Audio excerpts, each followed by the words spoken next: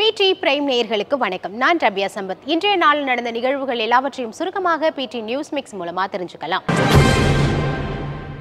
சென்னை சேத்துப்பட்டில் உள்ள சென்னை கிறிஸ்தவ கல்லூரி மேல்நிலை பள்ளியில முன்னாள் மாணவர்கள் சந்திப்பு நிகழ்ச்சி நடைபெற்றது. இதுல முதல்வர் மு ஸ்டாலின் கலந்து கொண்டு சிறப்புரையாற்றினார்.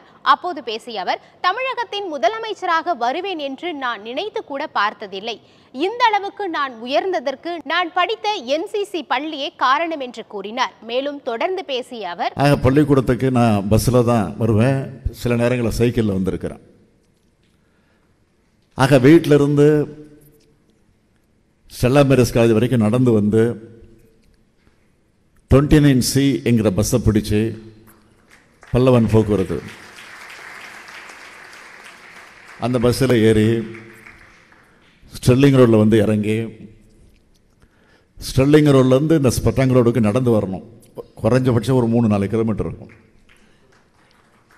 அங்கேருந்து நடந்து தான் வருவேன்.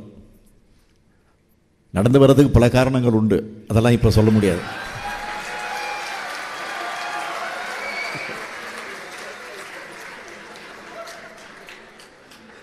அதெல்லாம் பழைய நினைவு.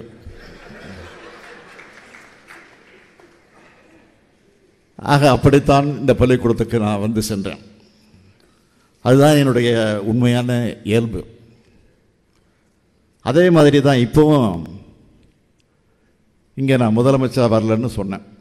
உங்கள் நண்பராக தான் வந்திருக்கிறேன். இன்னும் வெளிப்படையாக சொல்லணும்னா செக்யூரிட்டிலாம் மட்டும் இல்லைன்னா அவங்க அதை ஒத்துக்கிட்டாங்கன்னா நிச்சயமாக நான் பஸ்ஸிலையோ சைக்கிளையோ தான் வந்திருப்பேன் இந்த நிகழ்ச்சிக்கு. ஆனால் செக்யூரிட்டி விட மாட்டாங்க. அது உங்களுக்கு தெரியும். இருந்தாலும் மகிழ்ச்சியோடு இந்த நிகழ்ச்சியில் உங்களோடு பங்கேற்பதில் நான் பெருமைப்படுகிறேன். நேற்று நெய் விலையை உயர்த்திய ஆவின் நிறுவனம் இன்று வெண்ணெய் விலையையும் உயர்த்தியிருக்கு. தமிழகத்தில் தற்போது பால் நெய் வெண்ணெய் ஆகியவற்றின் விலையை ஆவின் நிறுவனம் தொடர்ந்து உயர்த்திட்டே வருது. இதன்படி சமையலுக்கு பயன்படுத்தப்படும் உப்பு கலக்காத நூறு கிராம் வெண்ணெய் ஐம்பத்தி இரண்டு ரூபாயிலிருந்து ஐம்பத்தி ஐந்து ரூபாயாகவும் ஐநூறு கிராம் வெண்ணெய் இருநூற்று ஐம்பது ரூபாயிலிருந்து இருநூற்று அறுபது ரூபாயாகவும் உயர்த்தப்பட்டிருக்கு.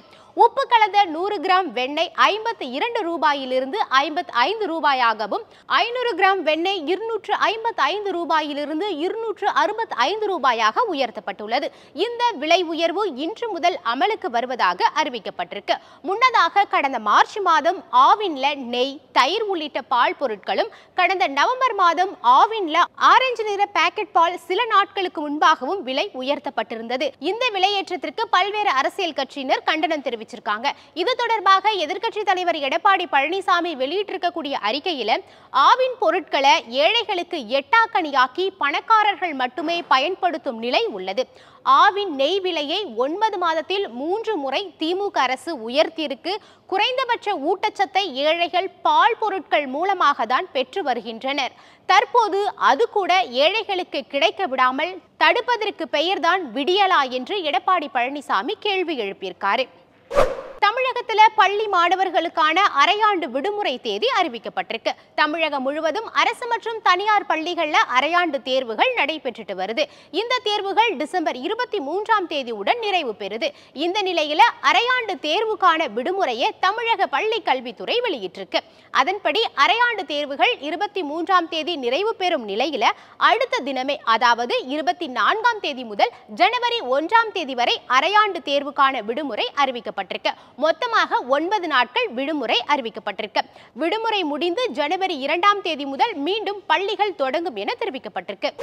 சென்னையில மூத்த குடிமக்கள் இலவசமாக பயணம் மேற்கொள்ளலாம் என அறிவிக்கப்பட்டிருக்கு. அதன்படி சென்னை முழுவதும் மாநகர பேருந்துகள்ல மூத்த குடிமக்கள் டோக்கன்கள் பெற்றுக்கொண்டு இலவசமா பயணம் மேற்கொள்ளலாம். அறுபது வயதிற்கு மேற்பட்ட மூத்த குடிமக்கள் இலவசமாக பயணம் மேற்கொள்ள டிசம்பர் இருபத்தி ஒன்றாம் தேதி முதல் ஜனவரி முப்பத்தி ஒன்றாம் தேதி வரை டோக்கன்கள் காலை எட்டு மணி முதல் இரவு ஏழு முப்பது மணி வரை வழங்கப்பட இருக்கு.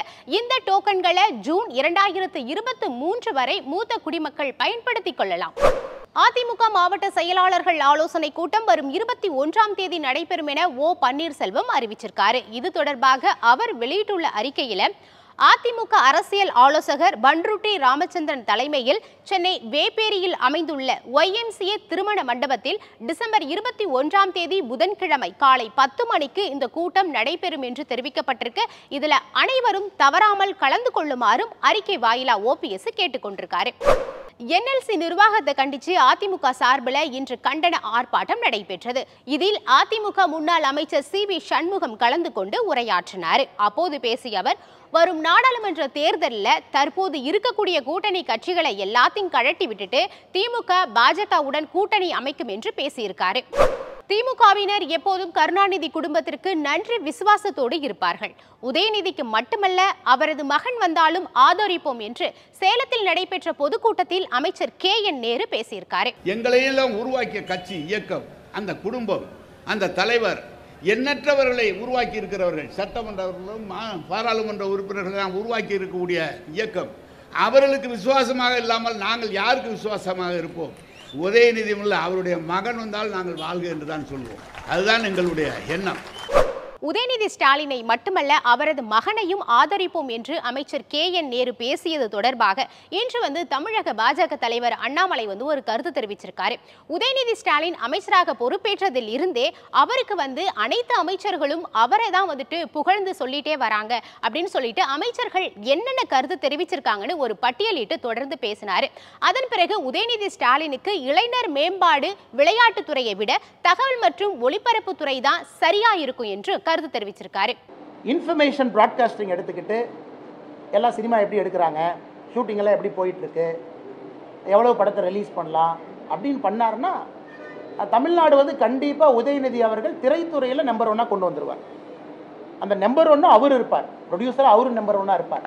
இன்றைக்கி பார்த்தீங்கன்னா நிறையா ப்ரொடியூசர் வந்து வீட்டுக்கு முன்னாடி கண்ணீர் வைத்து கொண்டிருக்கின்றார் எங்களுக்கெல்லாம் வாய்ப்பு இல்லைன்னு நம்முடைய கெட்ட காலம் இதெல்லாம் பார்க்கணும் கேட்கணும்னு இருக்குது பத்திரிகை நண்பர்கள் இதையெல்லாம் எழுதணும்னு வேற உங்களுக்கு இருக்கு. உங்களை சொல்லும்போது நீங்கள் எழுதித்தான் ஆகணும். ஒரு அமைச்சர் கருத்து சொன்னார்னா அட்லீஸ்ட் நீங்கள் அதை எழுதணும்.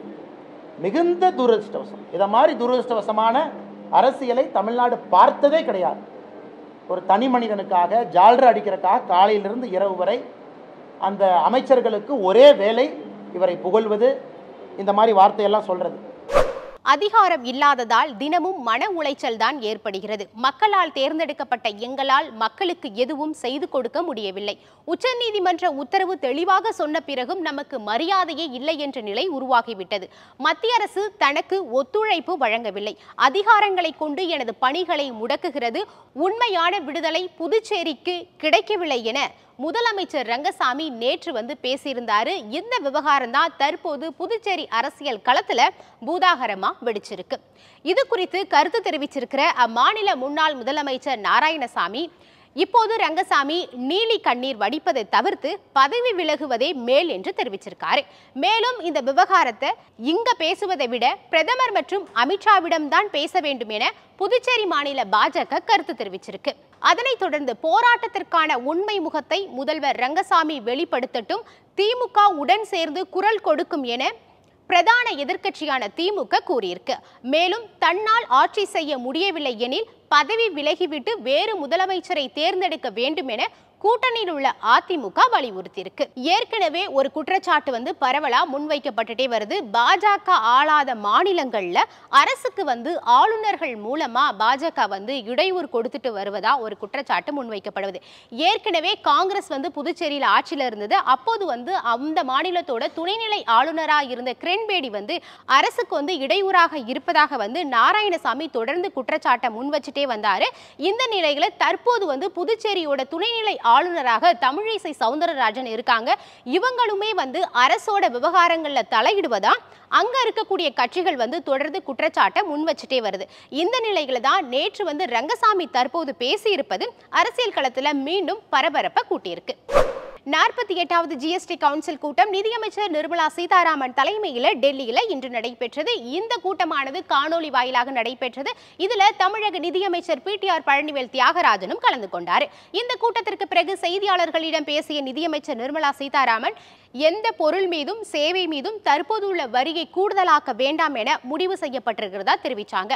புது வரி விதிப்பு இருக்காது என்றும் நிதியமைச்சர் தெரிவிச்சாரு. மேலும் நேரமின்மையால் புகையிலை குட்கா மீது கூடுதல் வரி விதிப்பது குறித்து ஆலோசிக்க முடியவில்லை என்றும் நிர்மலா வந்து விளக்கம் அளிச்சாங்க தமிழகத்துல டிசம்பர் இருபது இருபத்தி ஒன்று ஆகிய தேதிகள்ல கனமழைக்கு வாய்ப்பு இருப்பதா தெரிவிக்கப்பட்டிருக்கு. தென்கிழக்கு வங்கக்கடல் அதனை ஒட்டியுள்ள இந்திய பெருங்கடல்ல குறைந்த காற்றழுத்த தாழ்வு பகுதி நிலை கொண்டிருக்கு. அடுத்த நாற்பத்தி எட்டு மணி நேரத்தில் தெற்கு வங்கக்கடலை நோக்கி நகரும் என்று தெரிவிக்கப்பட்டிருக்கு. இதன் காரணமாக தான் டிசம்பர் இருபது இருபத்தொன்று ஆகிய தேதிகள்ல தமிழ்நாட்டுல கனமழை பெய்யக்கூடும் என்று வானிலை மையம் தகவல் தெரிவிச்சிருக்கு. சீனா போருக்கு தயாராகும் போது இந்தியா தூங்கிக் கொண்டிருக்கிறது. அச்சுறுத்தலை மத்திய அரசு தவிர்த்து வருகிறது. என காங்கிரஸ் எம்பி ராகுல் காந்தி நேற்று வந்து பேசியிருந்தார். இதற்கு மத்திய சட்டத்துறை அமைச்சர் கிரண் ரிஜிஜு கண்டனம் தெரிவிச்சிருக்காரு. மேலும் ராகுல் காந்தி இந்திய ராணுவத்தை அவமதித்தது மட்டுமின்றி நாட்டின் நற்பெயருக்கும் களங்கம் விளைவிச்சிருக்காரு. அவர் காங்கிரசுக்கு மட்டும் பிரச்சனை அல்ல நாட்டிற்கும் மிகப்பெரிய அவமானம். ராணுவத்தை நினைத்து மக்கள் பெருமைப்படுகின்றனர் என்று கிரண் ரிஜிஜு கூறியிருக்காரு. பாலியல் வன்கொடுமை வழக்கில் பதினோரு ஆயுள் தண்டனை குற்றவாளிகளை குஜராத் அரசு விடுவித்தது தொடர்பாக தொடர்பா நீதிமன்றத்தில் பில்கிஸ் பானு வந்து தாக்கல் செய்த மனுவை உச்சநீதிமன்றம் தள்ளுபடி செஞ்சிருக்கு. குஜராத்தில் இரண்டாயிரத்தி இரண்டாம் ஆண்டு நடந்த கோத்ரா கலவரத்தின் போது கர்ப்பிணி பெண்ணான பில்கிஸ் பானு பாலியல் வன்கொடுமை செய்யப்பட்டதோடு அவரின் உறவினர்கள் படுகொலை செய்யப்பட்டனர். உச்சநீதிமன்ற உத்தரவின் பேரில் இது குறித்து சிபிஐ விசாரணை நடத்தியது. இந்த வழக்கு விசாரணை மும்பை சிறப்பு நீதிமன்றத்தில் நடந்தது.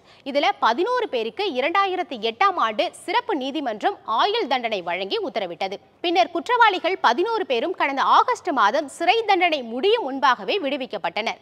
இதை எதிர்த்துதான் உச்சநீதிமன்றத்தில் பில்கிஸ் பானு தரப்புல மறு சீராய்வு மனு தாக்கல் செய்யப்பட்டது. இந்த மனுவை விசாரித்த நீதிமன்றம் பில்கிஸ் பானுவின் மனுவை இன்று வந்து தள்ளுபடி செஞ்சிருக்கு. தமிழ்நாட்டுல விஜய் தான் பெரிய ஸ்டார். அவர் படத்துக்கு தான் நிறைய காட்சிகள் கொடுக்க வேண்டும் என குறிப்பிட்டு வாரிசு பட தயாரிப்பாளர் தில்ராஜ் பேசியது இரண்டு நாட்களா பரபரப்பா பேசப்பட்டுட்டு வருது. இந்த நிலையில தான் தமிழ்நாட்டில் விஜயின் படத்தை வெளியிட போவது யார் யார் என்ற விவரம் தற்போது வெளியாகி இருக்கு. அதன்படி விஜயின் வாரிசு படத்தின் தமிழக வெளியீட்டு உரிமையை பெற்றிருக்கும் லலித் குமாரின் செவன் ஸ்கிரீன் ஸ்டுடியோவின் ட்வீட் தான் தற்போது வைரல் ஆயிட்டு வருது. தமிழ்நாட்டில் எந்தெந்த மாவட்டங்களில் எந்தெந்த விநியோகஸ்தரர்கள் வாரிசு திரைப்படத்தை வெளியிட போறாங்க என்பது குறித்த பட்டியலை தற்போது பார்க்கலாம். இதுல நெல்லை குமரி மாவட்டங்களில் ஸ்ரீ சாய் கம்பெயின்ஸ் முத்துக்கணி தஞ்சையில ராது இன்போடைன்மெண்டின் வி எஸ் பாலமுரளி சேலத்துல சேலம் கார்ப்பரேஷனின் செந்தில் ஆகியோர் வாரிசு படத்தை வெளியிடுவதா குறிப்பிடப்பட்டிருக்கு. இது போக சென்னை செங்கல்பட்டு கோவை வடக்கு ஆற்காடு தெற்கு ஆற்காடு ஆகிய பகுதிகளில் வாரிசு திரைப்படத்தை வெளியிடும் உரிமையை உதயநிதி ஸ்டாலினின் ரெட் ஜெயின் மூவிஸிடம் ஒப்படைக்கப்பட்டிருக்கு. உலகமே ஆவலுடன் எதிர்நோக்கி காத்திருக்கும் கத்தார் உலகக்கோப்பை கால்பந்து போட்டியின் ஃபைனல் போட்டி நாளை இரவு எட்டு முப்பது மணிக்கு நடைபெற இருக்கு. அரையிறுதி போட்டியில அர்ஜென்டினா அணி குரோஷியாவையும் பிரான்ஸ் அணி மொராக்கோவையும் வீழ்த்தி ஃபைனலுக்குள்ள நுழைஞ்சது. உலகிலேயே கிரிக்கெட்டை விட கால்பந்து போட்டிக்கு தான் எக்கச்சக்கமான ரசிகர்கள் இருக்காங்க. அந்த வகையில அர்ஜென்டினாவை தாண்டி மெஸ்ஸிக்கு இந்தியாவில் நிறைய நிறைய ரசிகர்கள் இருக்காங்க. அவங்க எல்லாருமே தற்போதிலிருந்தே கொண்டாட்டங்கள்ல ஈடுபட ஆரம்பிச்சிட்டாங்க. மேற்கு வங்கத்துல ஒரு ரசிகர் தனது வீட்டையே அர்ஜென்டினா அணியின் நிறத்துல மாற்றி அசத்திருக்காரு. இந்த நிலையில கோப்பையை வெல்ல போவது அர்ஜென்டினாவா பிரான்சா என்ற ஆவல் அனைவர் இடத்திலும் தொற்றியிருக்கு இதில் இரண்டாவது முறையாக இறுதி போட்டிக்குள் முன்னேறிய பிரான்ஸ் அணி அறுபது ஆண்டுகளுக்கு பிறகு கோப்பையை தக்க வைத்த அணி என்ற வரலாறு படைக்க காத்திருக்கிறது. மறுபுறம் மெஸ்ஸியின் கடைசி உலகக்கோப்பை போட்டியில் முப்பத்தாறு ஆண்டுகளுக்கு பிறகு கோப்பையை வென்று அவருக்கு அர்ப்பணிக்கும் உறுதியோடு களம் காண்கிறது அர்ஜென்டினா. இதனால இறுதிப் போட்டி அனல் பறக்கும் போட்டியாக இருக்கும் என்பதில் எந்த ஐயமும் இல்லை. இன்றைய நாளில் நடந்த நிகழ்வுகள் எல்லாவற்றையும் சுருக்கமாக பிடி நியூஸ் மிக்ஸ் மூலமாக தெரிஞ்சுக்கிட்டோம். மீண்டும் திங்கள் சந்திக்கலாம். நன்றி. வணக்கம்.